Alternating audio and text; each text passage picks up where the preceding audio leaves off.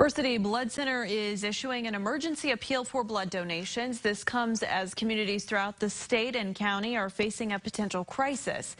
In Indiana, the state's blood supply has dropped to a critically low level. Right now, there's a less than a day's supply of blood on shelves to supply over 80 hospitals throughout the state.